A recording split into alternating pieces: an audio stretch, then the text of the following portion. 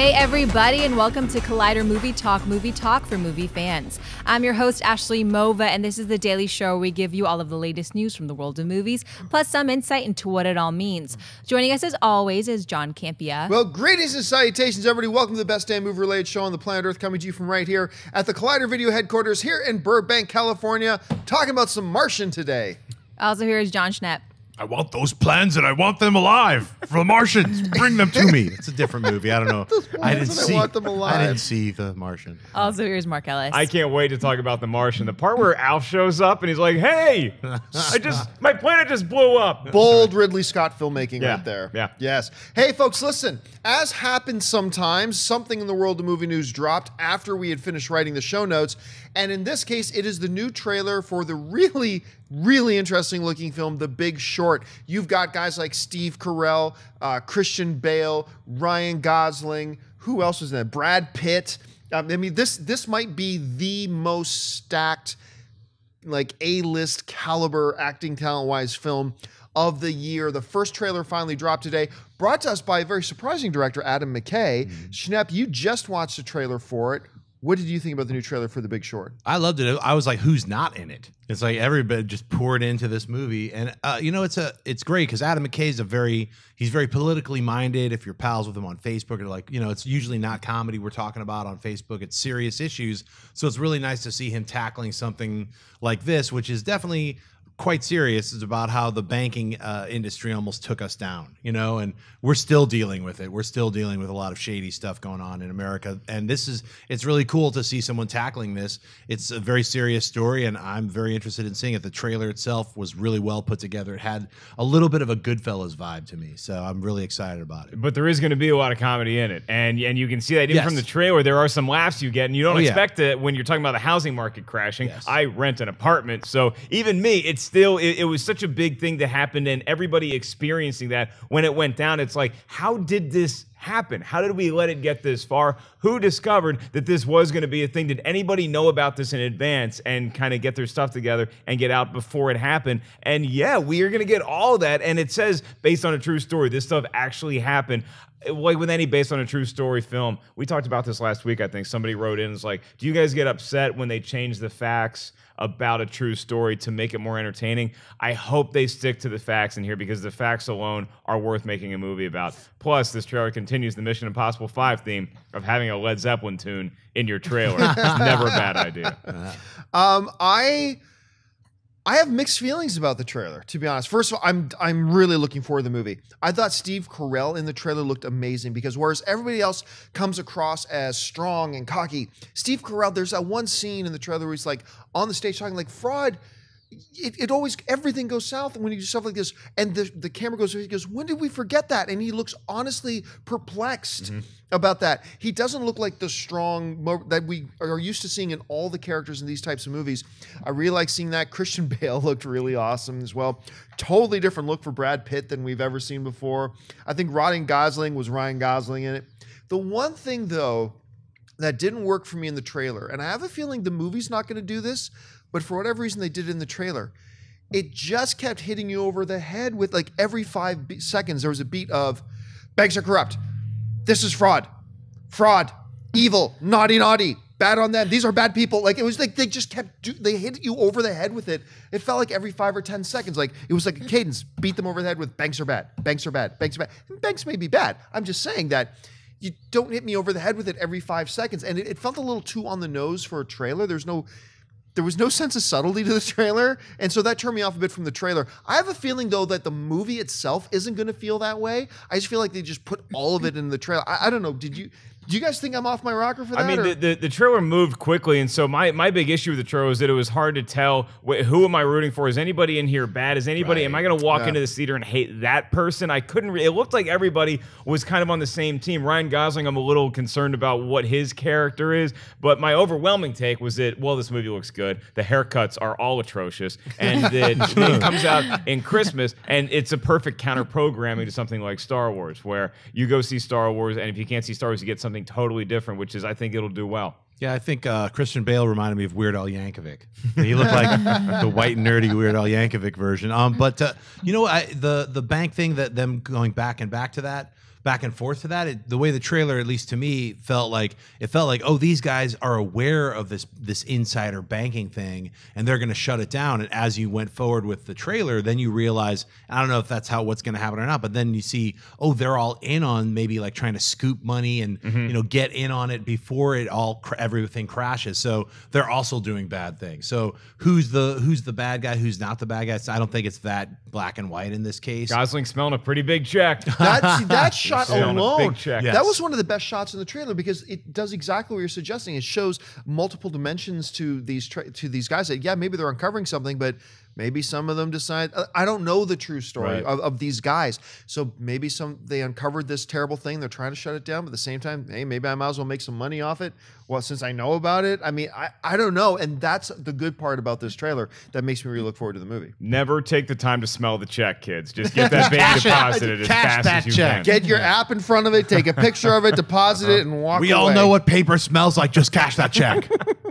All right, what's our first official story today? With the highly anticipated Batman versus Superman now just six months away, many questions still linger about the future of a second standalone movie or if there will even be one. In a recent interview, director Zack Snyder added more confusion to the question when he said the following I think, in a way, Batman vs. Superman is Man of Steel 2.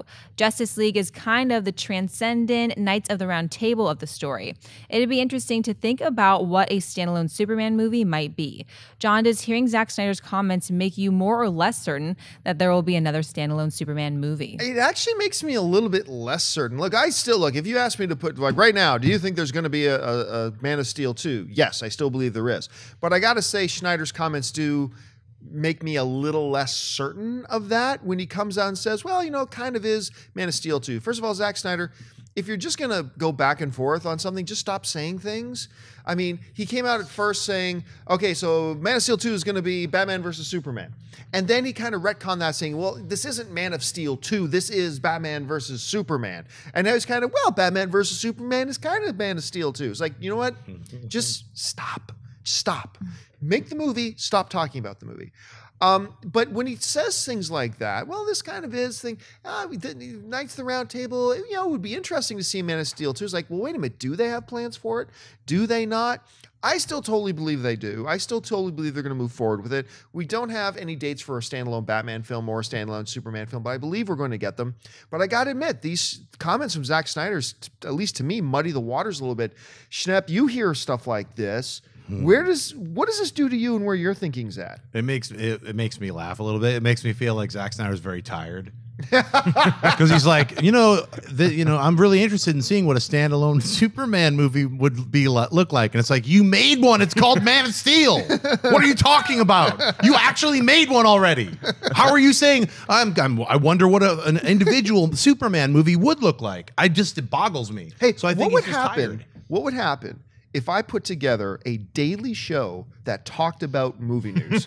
what would that look like? John, you're bo- you're blowing my mind. You mean every day as opposed to every other day or once a hmm. week? No, like if it was Monday through Friday. Monday through Friday, and what? It would probably air sometime. We'd shoot it in the morning. You could be on it. I would be. I definitely. I would be on it. But I not just Schnepp. What about throw Ellis Right? in the mix? Ellis, we could get Ellis in there. This sounds incredible. That incredible. show would look very green. yeah, have a kind of a greenish set, sort of like this. It could be even this set if we wanted to save money. Just use this I set. mean, we've got it. yeah, it's already here. This is our Knights of the Round Table. Let's talk about it. This is our night. It's a little preemptive, guys. I don't know if we want to do a daily show. Let's just hang seems on for rather a second. ambitious. It's- yeah, but I wonder what it would be like if it happened. You know what movie I want to see is the death of Man of Steel 2. What happened? oh no, I don't want to see that. I still think we're gonna get this movie, and and it is. It's like why even call the movie Dawn of Justice when you really want to call it kind of Man of Steel two ish. I think we are gonna see Superman. So you're gonna see the, another standalone Superman movie with Henry Cavill as Superman. It just it, what this these comments mean to me is that they haven't established their priority yet as far as making more standalone movies. Obviously, you know you want to get Batman in there because Affleck is locked into that character too, and he's a much bigger star than Henry Cavill is at this point. I think Batman, you know that a Batman movie is going to do well. It seems like they have a lot of confidence in what this Batman brings to the table, which is why they greenlit all those other Batman movies. Movies. Justice League seems to be the priority here. That's what I get from these comments. Is that yes, you are going to see another standalone Superman movie, but right now we need to get all the Knights of the Round Table on board. They haven't done what Marvel did, where it's like, hey, here's our slate for the next 20 years. They they might do that, and it might be a smart move to do that at some point. They haven't done it yet. You wonder when they unveiled to their board members what the next movies are going to be. If they talked about this, if they talked about Man of Steel 2 and where that fits into their big plans, it just seems like they just don't know yet. Well, it's weird. Like I said, I think Snyder's tired. Once George Miller finally stops playing around and admits it, and they're doing Man of Steel 2, they'll be like, oh, that's when it's going to get released. I think, you know, it's going to happen. It has to happen. Before they do Cyborg, they're going to have Man of Steel 2. That's just a given, at least in my mind. So Do you think maybe Snyder's playing a little coy here? Like, do you think Snyder knows George Miller is on for Man of Steel 2 and he's just playing a little coy with the I, audience? I do have to think? that way because him saying like, "I wonder what a Superman movie would be like." It's just it boggling to me. So either it's taken out of context, like that little snippet is from a larger discussion where they're talking about what he would have done with Man of Steel two, or it just seems so weird to me. Just rest like- assured that as, as much as we fans really can't wait for March to roll around, it's it's takes so long if you're Zack Snyder for this movie to come out. Right. Because you're gonna keep getting this question Yeah. until this movie actually comes out, then they announce what they're gonna do going forward with Batman and with Superman and what the timetable is. You know, that the movie is still six months away. That, let's just let let that depress you for Let's minute. just get to The Martian. Okay, well let's just get October 2nd is the next cool movie that we all want to oh. see. Well, before we get to the Martian, we got something else to talk about. So, Okay. Ashley, what's next? As many of you will remember, we recently discussed that actress Emily Blunt had signed on to star in the upcoming feature film adaptation of Girl on the Train. It was also announced that Mission Impossible Rogue Nation star Rebecca Ferguson was also joining the cast. Now it looks like we may have our leading men, as The Hollywood Reporter says that both Chris Evans and Jared Leto are both in negotiations to join the film as well. Girl on the Train is described like this. Rachel takes the same commuter train every morning. Every day, she rattles down the track, flashes past a stretch of cozy suburban homes, and stops at the signal that allows her to daily watch the same couple breakfasting on their deck. She's even started to feel like she knows them. Jess and Jason, she calls them. Their life, as she sees it, is perfect, not unlike the life she recently lost. And then she sees something shocking. It's only a minute until the train moves on, but it's enough. Now everything's changed. Unable to keep it to herself, Rachel offers what she knows to the police and becomes inextricably intertwined in what happens next, as well as in the lives of everyone involved. Has she done more harm than good? Mark, would Evans and Leto be a good addition to Girl on the Train? Whew, boy, that was a long description, and I loved every word of it. This sounds exciting. I love that it's going to be Emily Blunt and Rebecca Ferguson. The winner gets to play Captain Marvel. That's gonna. that's the way you pitch this movie. And uh, as far as Leto and Evans go, yeah, I mean, this is this this cast is really rounding itself out nicely. The addition of both of those guys and doing a different role than we're going to have seen them recently with Leto as the Joker and with Chris Evans as Captain America and all those movies. Yeah, I totally. I'm excited about this movie now. I'm I've been excited about this movie since I first read it. When they announced Emily Blunt was going on, and then they announced Rebecca Ferguson was joining her, and Emily Blunt is going to be the lead in this film, apparently. And now you add names like this. Now we were just talking about The Big Short, which is easily going to be the most stacked movie filled with A-list talent. But this is a pretty impressive looking cast that's shaping up. Now, should mention the Hollywood Reporter also mentioned that while these two guys are in talks and negotiations, the Hollywood Reporter mentioned that there could be some scheduling conflicts that are holding things up for one or for one or both of them, perhaps, and they're trying to get those worked out right now. So we won't fall over shock if one of these guys doesn't end up being in the movie. But if you do end up getting a movie that sounds as great as this, this is a great sounding premise for a film to me with Emily Blunt, Re- Rebecca Ferguson, Jared Leto, Chris Evans. That's just so full of goodness. I'm excited about it. I cannot wait to see this. So I'm really enthused. Yeah, me too. I love the premise. Definitely uh, harkens back to like the old film noir thrillers. Yeah. Uh, so I feel like you know, with the, the the the two Captain Marvels being in it, you know, that's exciting enough. Now you got Captain America and the Joker. It's going to be I don't know. It's a it's a freak fest for superheroes that has nothing to do with superheroes. So that's I'm glad that you know it's like it's cool to see these uh, these actors who are like now in the the superhero game, you know, break out and have fun in w- regular movies. And I'm looking forward to this film. So. All right. What's next? In two weeks, the new Matt Damon film The Martian will hit theaters.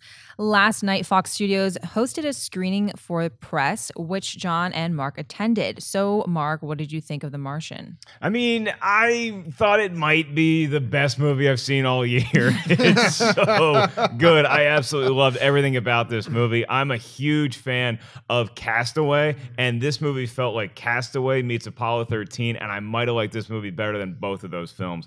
It's just so good. The fact that you get to see Matt Damon on Mars and you get to cut back to Earth and shots of are we going to be able to help this guy out at all? It was so thrilling. It was so suspenseful. I felt like it was based on a true story. Like I felt like I was watching. It did feel that way, didn't it? historical events. Everything felt so real to me, and it's not just Matt Damon's show. Whereas Castaway, it's pretty much Tom Hanks in a volleyball with a cameo by Helen Hunt. This one, you have Matt Damon, but you also have amazing performances by guys like Jeff Daniels, Chiwetel Ejiofor, uh, Kristen Wiig, Jessica Chastain, Michael Peña. It was so good uh, from start to finish. I was so wrapped up in this movie. I, I can't stop thinking about it. It is the movie you need to rush out to see next. I promise you. I uh I loved it. I loved this movie. I and all I could think about walking out of the theater was finally Ridley Scott is back. Finally, now I, I I I should probably stop myself there. I'm not going to say he's back yet. Give me one more good one, but I'm definitely going to say this is a triumph for Ridley Scott because on top of everything that Mark just said, which I echo completely, one of the things that really stands out as a triumph in this film is the direction. Mm-hmm. There's a great story here based on a fantastic book. Drew Goddard did a very good job adapting the book as well. But when it comes down to it, when you really think about a lot of the scenes in this movie, a lot of them could have fallen flat. And it's the direction of these scenes that really made them stand out to me. There there is so much tension and and humor and senses of awe and wonder and there's just this wonderful sense. There's a scene that you see in one of the trailers where Jeff Daniels goes this is you know this is bigger than one man. And then you see Sean Bean going no it's not and that there's that theme that's very very subtle I, I actually kind of wish they weren't as subtle in the movie with it but that very subtle theme about one man, one human life for the rest of us is worth it to, to try to do something. I was f- the performances you mentioned. Jeff Daniels was amazing in this movie. He fits so well into his character. I think it's going to go over some people's heads. I think a lot of people are, are going to walk out and they're not even going to think about how good Jeff Daniels was until you really sit down and think about it. Like he was stunning. Chiwetel Ejiofor was just Chiwetel Ejiofor. I think he's one of the top four best actors on the planet today. Um, Dennis, I keep forgetting the name of the engineer dude that you said was in Sunshine.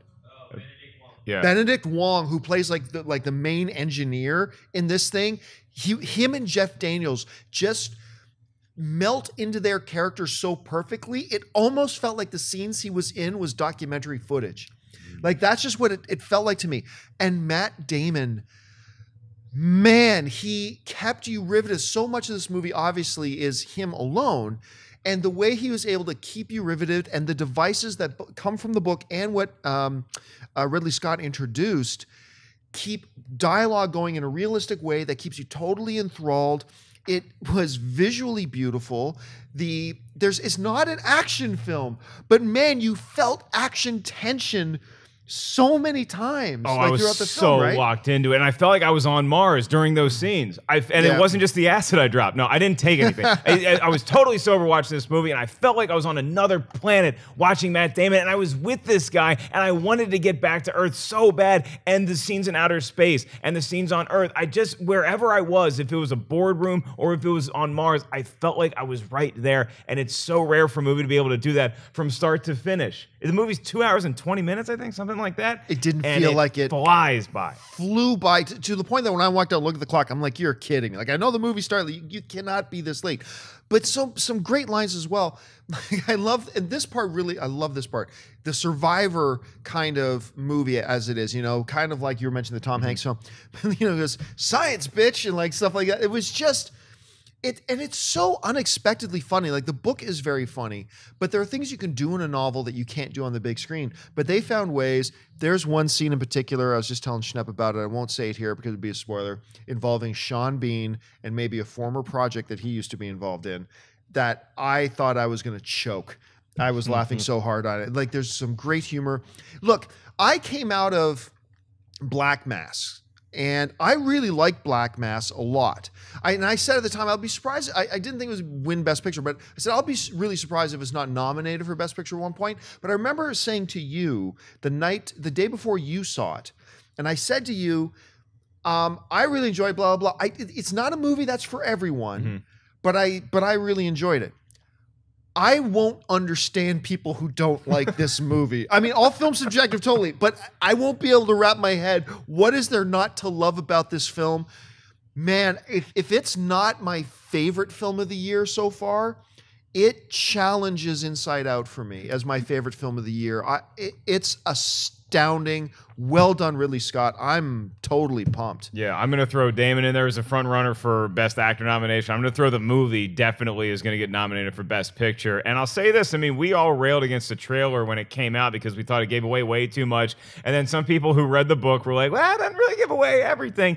I still think the trailer gave away a little bit too much, but it's not gonna ruin your experience of the movie at all. This is a movie you rush out to the movie theater to go see. That reminds me, one of my favorite things about this movie. You mentioned the first trailer. If you saw those first trailers, there was all that, you know, the the mission, the the Mars mission team, like in their preps, they're on the ship, they're traveling, they're talking, introducing everybody. I expected this movie to start, and we get 10 minutes of Matt Damon finding out he got to be in the mission, and then 10 minutes of the, the crew going to Mars, and 15 minutes of them being there, and then something bad happens. Screw that. This is a tiny, tiny spoiler. The Martian. Go! And the movie mm-hmm. just starts within like 30 seconds. They're gone, and Matt Damon's left on Mars. It's the, the I love it when movies don't piss around. They just dive right into it and go. And it's funny because this isn't a fast movie. I was telling this to Dennis and Wendy as we were talking about after the film. This isn't a fast movie. This isn't like a frantically paced movie, but there are no wasted frames in this movie. This is a great example of a movie that's not a fast movie, but that had great pace. Not a single shot, not a single frame of this movie was wasted. Every single frame had a purpose. It kept the story moving forward. It kept you enthralled. And I'll be honest with you, even in movies I love, I don't often get this sense of disappointment when a movie's over. But when this movie's the credits started to roll, I was disappointed. I wanted more. Right, and bring your colostomy bag because look, I saw people that were walking out to go pee at some point, and look, I like to pee during a movie if I have to. I don't want to hold it, but hold it during this movie because I saw people walk out, and then something happens in the next minute before they come back, and I'm like, oh boy, did you miss something big? So make sure you're locked in the entire movie. You're not going to regret it. Schnepp, go see this movie as soon as you can. I am super excited to see this movie. I'm bummed I didn't see it yesterday, but I cannot wait now, especially with you guys' review, because I was one of the people who felt like, oh, those trailers showed too much. Dennis saw the movie yesterday. I mm-hmm. asked him, I was like, did the did the trailers show too much? He said, no. You know, you, they show a little bit, like you get the idea he's stranded on Mars, Yeah. which is fine. That's great. But at least there's a lot more to it. You know? Yeah, and a lot of the characters are not what you expect. I, you mentioned Matt Damon's going to be a lock for a Best Actor nomination. I, I got. I really hope Jeff Daniels gets in there for a Best Supporting Right. Actor. I really, really do. All right, folks, it's that time of the show now for buy or sell. Here's how this works. In front of her, Ashley's got a few other items in the world of movie news. She's going to list them off, and those of us at the table are simply going to say whether we buy it or sell it. So, Ashley, what do we got?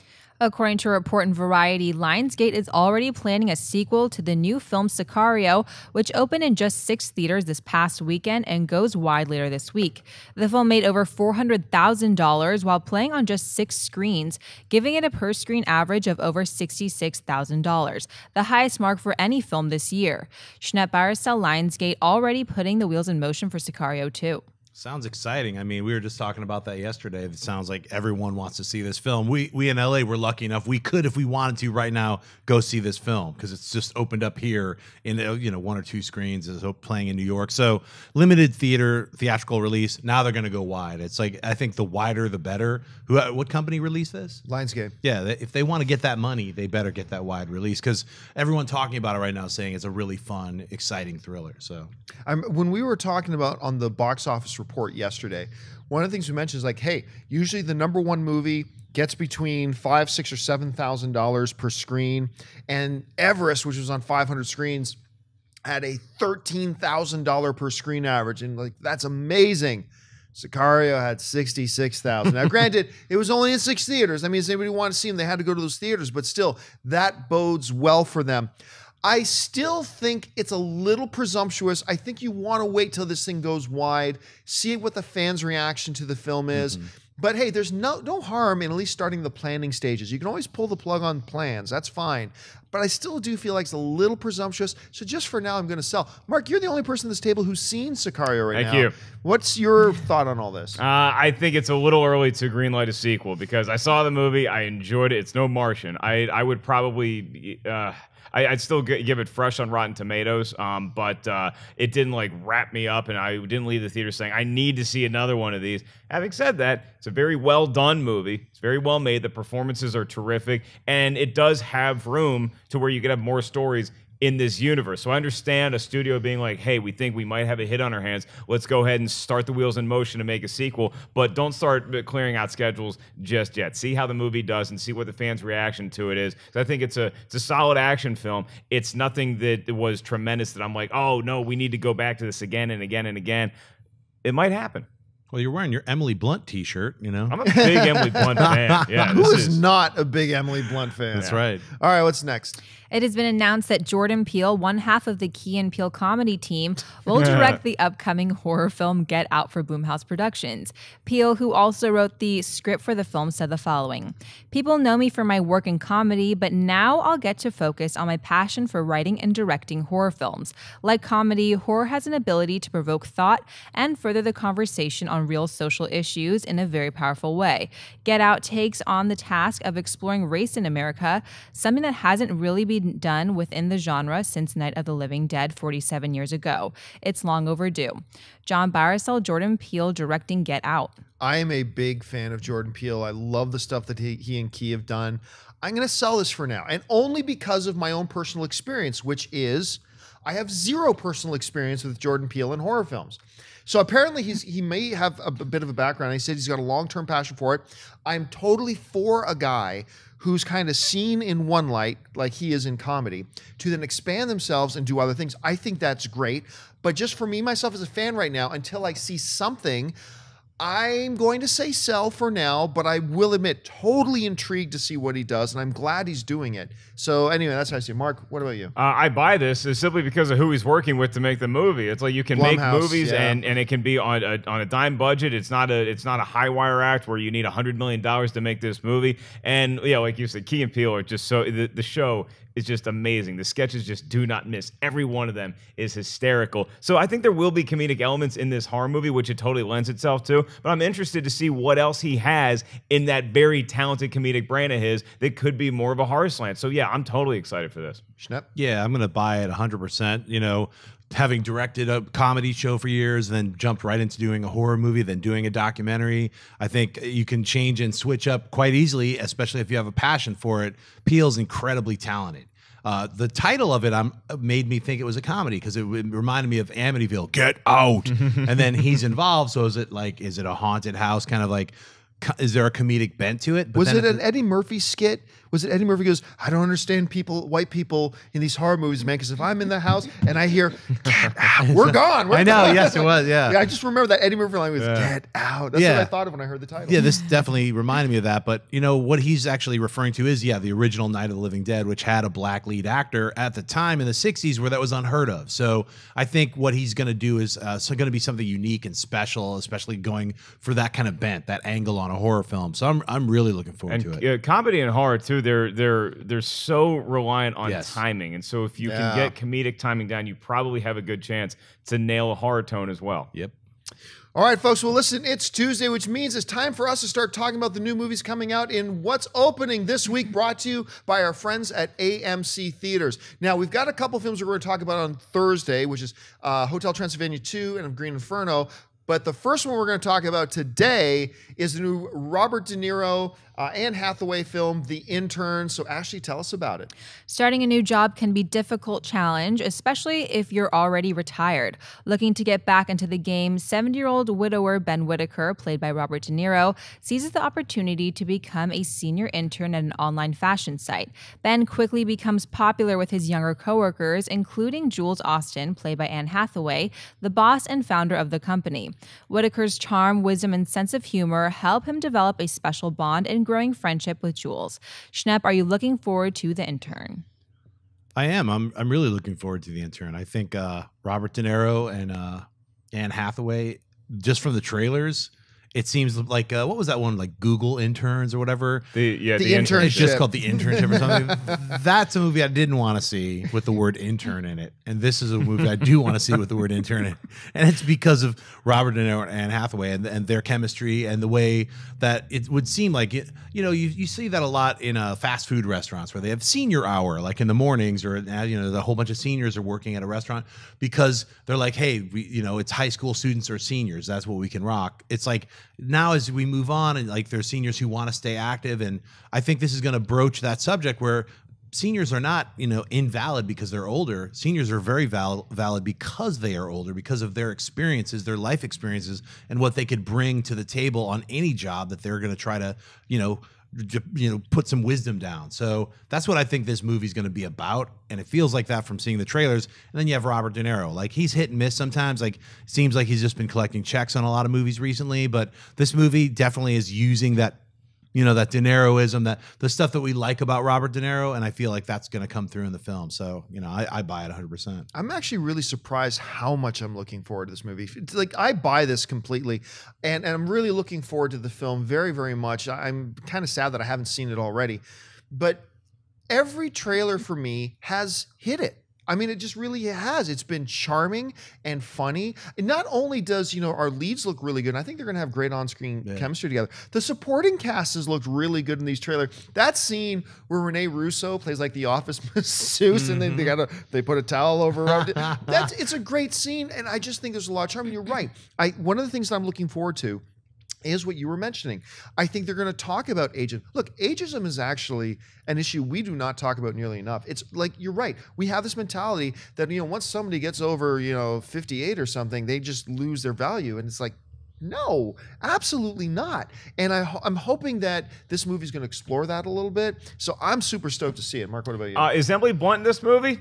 Sell. no, I, I do want to see uh, the intern uh, very much. So I'm looking forward to talking about this for at least an hour on the phone with my mom after she sees it because this is definitely a mom opening weekend movie. Nancy Meyers is the right person to handle material like this because Schnepp, you you you nailed it. It's like you could have Vince Vaughn and Owen Wilson, and boy, are they going to have some shenanigans. They're too old to be interns. This looks like it's earnest. It's down to earth. It does take a premise that could be seen as wacky, but it feels real. It doesn't feel like they're forcing this zany comedic premise on you. It feels like I, I get it. This guy, I think he lost his wife, and he's just he's looking for something to do. He he doesn't want to just be retired. He wants to keep contributing, and so when he gets into this modern workplace, there's going to be some odd situations, but it's not just for comedic value. It's also to get you right here a little bit, and I like movies like that. You're mentioning that De Niro can be a little bit hit and miss, and you know sometimes in comedies, when De Niro tries to be a comedic actor, like he did in um, oh, what's the one he did with Bi- Billy Crystal? And the- Analyze this. yeah, and analyze, that. that.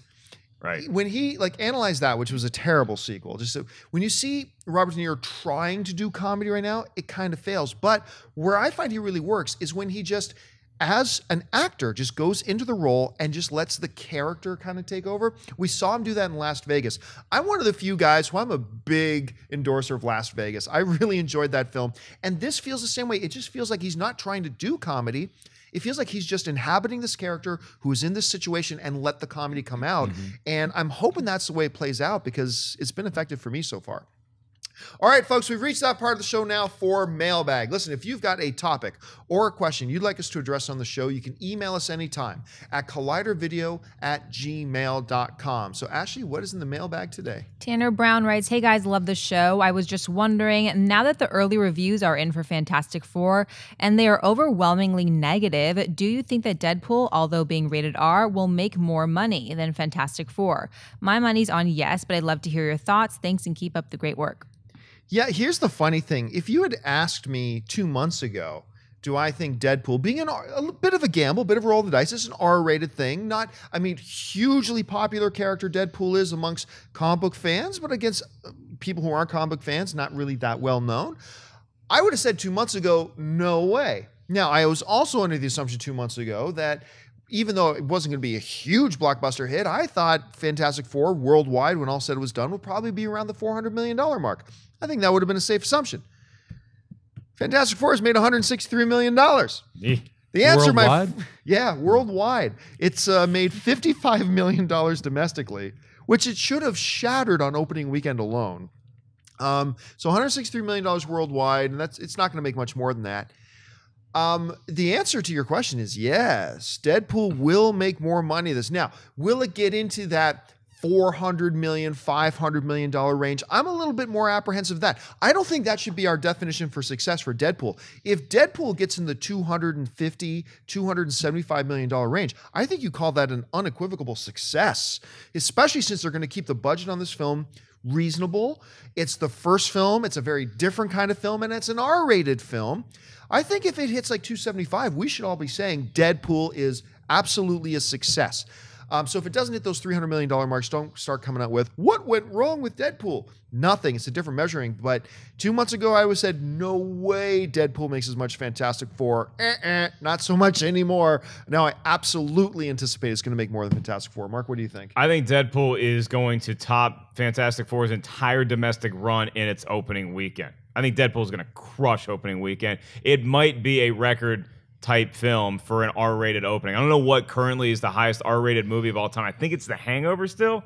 Is that right? Or maybe The Hangover 2. But I think Deadpool is going to be a phenomenal success. And not just because I think the movie's going to be good. I think that the buzz around it, the fact that they they had the rocks to make an R-rated movie. Don't forget what we talked about yesterday, too, is that Colossus does have somewhat of an appearance in this movie. So we know that it is an X-Men. An X-Men in an R-rated film. That's intriguing. And the fact that it's opening, what, in February? When you're not going to have a lot of competition. It's I think it's going to slaughter Fifty Shades of whatever. It's is there even a Fifty Shades movie coming out? This there isn't. Deadpool is going to be the the most money making movie in February. Okay, so here's here just to get interesting question you brought up highest opening weekends for R-rated films. The the fifth biggest one was Passion of the Christ at 83 million. The fourth was 50 Shades of Grey at 85 million. Uh, the number three all time was The Hangover Part Two at 85 million. Number two is American Sniper at 89 million. The all time opening weekend box office record for an R-rated film is The Matrix Reloaded at 92 million. That's a tall order. 92 might be tall for for Deadpool. But I think it's definitely I think it's definitely topping 60. Yeah, I agree. I think you're right. I agree with you. I'm going to say it's going to kick 100. That's a, just from the buzz. I think everyone is excited about this film. And Deadpool's not like the most well-known Marvel character, but neither was Iron Man, and this has more buzz on it than Iron Man had before it came out. Uh, so I think the R rating is almost a plus side for this. So let's see it get pushed. Let's see, and hopefully the reviews. That's the one thing that would kill it from making 100 million is if the reviews for the film, like the couple weeks before, Well, look what happened to Fantastic Four. yeah, Right. that's if it if it's like Deadpool's like a you know 23 Rotten Tomatoes or whatever, you know what I mean? It's like it'll probably crush it and crush it down to like 40 million. It'll probably still make more than Fantastic Four though. You're right, but uh, if the reviews and and everything that we've seen from it so far. Everything looks really exciting and different about it, and that's what is fun about these superhero films is that they can all of these can fit into different categories. And this fi- film definitely feels breaking the fourth wall, really pushing the limit, being an R-rated film. It's breaking that new ground, sort of in that kick-ass terrain. Hmm. So I'm looking forward to. it. I think it'll definitely put. I think it'll be a big hit if it doesn't suck. So See, one of the big di- differences between Fantastic Four and Deadpool in terms of how the marketing has gone, while I think for the most part we really enjoyed the trailers for Fantastic mm-hmm. Four, what we never got from the trailers for Fantastic Four, and there's nothing wrong with this, but we never got a sense of what's their approach with Fantastic Four. I just knew they put together some really good looking trailers, but we didn't get a sense of what's their philosophy with Fantastic Four, what direction they're going with Fantastic Four. They just made some good looking trailers. With Deadpool going to what you're saying about the only thing that might stop it from cracking that 50, 60 million dollar mark is if the early reviews are really bad. I get a feeling from the Deadpool trailer that we got and from everything we've seen, we have gotten a good look at what their whole philosophy with this character is mm-hmm. and what their approach to this movie is. And it's all been spectacular. I'm anticipating good word of mouth when this thing comes out. The one thing I'll say is different too. Like you mentioned that, you know, a lot of people, there wasn't a lot of buzz about Iron Man before it came out. I would suggest that that was true until the Comic Con trailer dropped. Then once the Comic Con trailer trailer dropped, then there was a tangible buzz. Mm-hmm. I think I think they're saving the best of Deadpool's marketing. I think I don't think we've seen it yet. I don't think that that trailer we saw, which is as good as it was, I don't think that's the best one yet. I think we are. Gonna, I think they're holding something back for later. And again, it comes out in February, and it's not going to have the competition that even Fantastic Four did. I mean, Fantastic Four had to deal with Mission Impossible Five still being on fire. It had Straight out of Compton the weekend after it, so I don't think Deadpool's going to have that level of competition. Ant Man was already out. Mm-hmm. Yeah. You know what's weird about the Fantastic Four trailer though is so many sequences that were in the trailer weren't in, Not the in the movie, movie. as well as like just even the tone, and they were like, "What's coming? Change is coming." That line's not even in the Not movie. even That's in. not- there's so much that's not in the movie. the that, two you know, it's like- premier shots and scenes from the trailers the you don't know what's coming what is coming doom not in the movie the other premiere shot the thing being Dropping. bombed out of the thing not in the movie like the Yeah. main marquee moments of their trailers And not I, I love in the, film. ex- eh, eh, eh the effects weren't. Uh, we didn't have time to finish it. Well, why'd you put them in the trailer? Eh, the door closes. look over there yeah. okay all right what's next last question of the day Griffin Dumir writes Dear Collider crew, I'm a huge fan of the show and have been for a long time. My question is simply why are you not doing a Game of Thrones Scream recap it, Ashley. I love the show. A lot of people love the show. I'm sorry, but some of the shows that you are recapping, Agents of S.H.I.E.L.D., aren't that beloved. Thanks and keep on keeping on. I love it when ashley cap. starts doing attitude voice i love ashley attitude voice um Can I just say it like the nerd? Why are you not exploring the Game of Thrones recap now? Why? There we go. In defense of uh, of Griffin, you're not the only person to ask me this day. And thanks a lot for sending the question. I'm gonna have a little bit of fun with you though, right? And it's just all in fun, all in fun. But ever since we announced, for those of you who don't know, and ma- most of you do by now, we are starting some recap shows for six shows. We're really excited about it. We already had our first preseason special for uh, Empire, and that went really great. I'm excited about it. We're also doing uh, Arrow, Flash, uh, Agents of S.H.I.E.L.D., Supergirl, and The Blacklist. Um, but ever since we announced those things out, obviously, look, no matter what six shows we announced, and I knew this in advance. I mean, Dennis and I had conversations about this. We knew this in advance. No matter what six shows we we announced, and this is cool. We knew we were going to get thousands of emails of why not this show or why not that show. That's understandable, no problem. But one of the things I was surprised at because when we announced the first six shows, we very clearly said what our parameters were. One, that we think it's going to have an audience. Two, it has to be starting in September or October. So starting out. And three, no Netflix shows. Now, uh, let me get to the Netflix shows before we get to Game of Thrones. With the Netflix shows, uh, there are a couple of Netflix shows that I really, really love, but doing a net doing a recap show for a Netflix show, I just believe was not practical. When we discuss it, it's just not practical because of the way Netflix releases them. When Netflix puts out a new show, they put out all the episodes at once, and that's great. But the thing is, how do you do a weekly recap show based on a show that already had all of its things put out, all of its episodes put out? So by the time we get to episode 11, well, then heavens, most of the audience already saw that show three months ago and they're not coming back to watch recaps episode after episode. It just wasn't practical. Even though there are some magnificent shows, you know, whether it's Game of Game of Cards or House of Cards, I was gonna say Game of Cards and House of Thrones. uh, House of Cards, or whether it's Daredevil or things like some great ones. It's not that's not us making commentary on how great the shows on Netflix are. It's just a matter of that it didn't feel practical for us to do a weekly recap show. So now, even though I laid all that out, no Netflix shows, has to be starting in September, October, whatever. I I'm not exaggerating when I when I tell you this. The amount of emails I got exceed 300. Exceed 300 emails I got specifically for people asking me, why on earth are you not doing Game of Thrones? The answer is because as of right now, there is no Game of Thrones. There is no Game of Thrones. until I think what is it, April or May? Yeah, it'll be back. It, it's going to be back in April or May.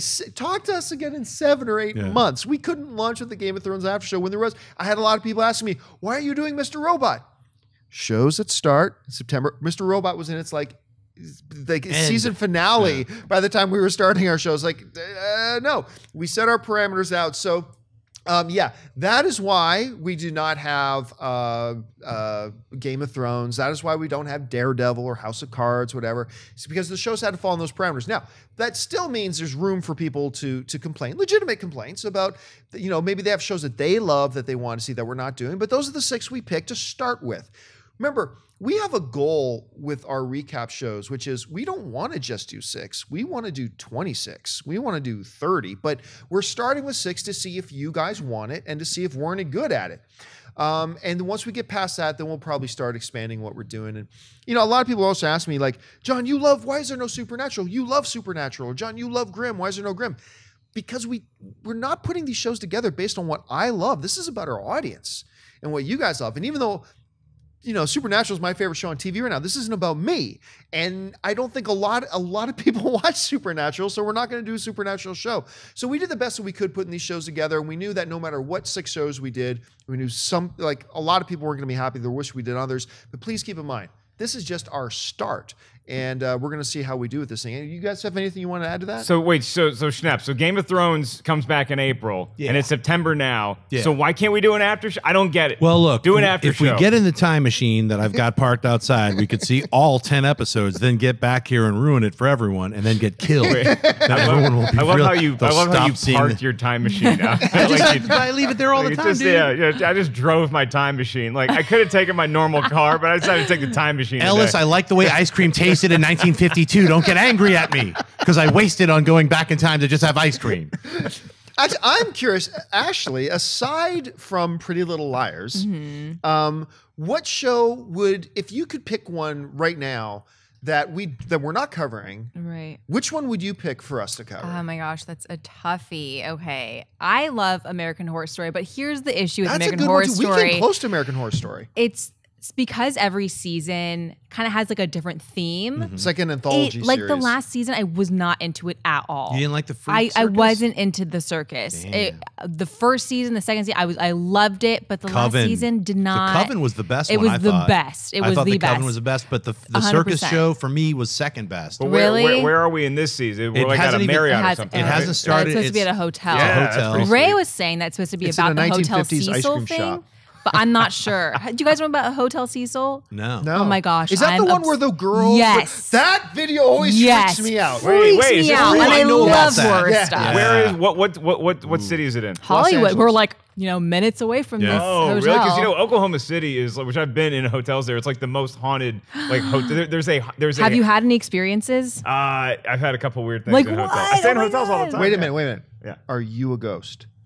I kind of felt like you were. Get out! Get out!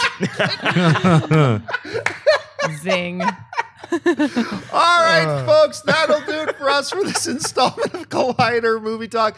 Thank you so much for joining us. Hey, listen, don't forget, make sure you subscribe to our YouTube channel, keeping up to date on all the shows we're doing, but not Game of Thrones, uh, but everything else we're keeping up to date. And listen, Lots of great films right now are playing at our friends over at AMC Theaters. Uh, Dennis is going to be mad at me because I did that out of order. Head on over to www.amctheaters.com for all of your Showtime and movie ticket information.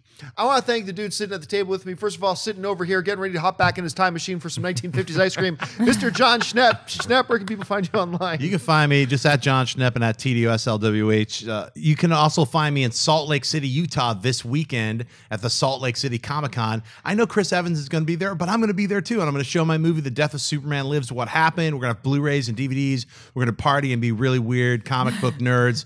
So I'll see you there. And also here in LA, if you live in LA, you can see my film at the Laemmle's Music Hall. It's going to be playing there September 25th to October 1st. There's daily shows. It's actually being, it's in a theater. Get some popcorn and sweat it out with Tim Burton and Kevin Smith. Check my movie out. You can check it out there. I'll be there doing a Q&A on Monday and Tuesday of next weekend, of next week, but take care. And over here on my right, Mr. Mark Ellis. Mark, where can people find you? Ooh, I will be at. Uh, I'm at the Atlanta Improv this weekend. So if you want to see a ghost do stand up comedy, I'm your guy. Uh, you can get tickets at markellislive.com and you can find me online at 5150 Ellis. Uh, you might be a ghost because I remember seeing a picture of the interior of Emily Blunt's bedroom, and I thought I saw your face in the window. Right. It was, but it was I like looking at him from outside. I saw a picture of him was like from a hotel with like all these old people, and then his face really small. And I remember zooming in and on it's it. Was from 1950s. yeah, I am like- pretty white.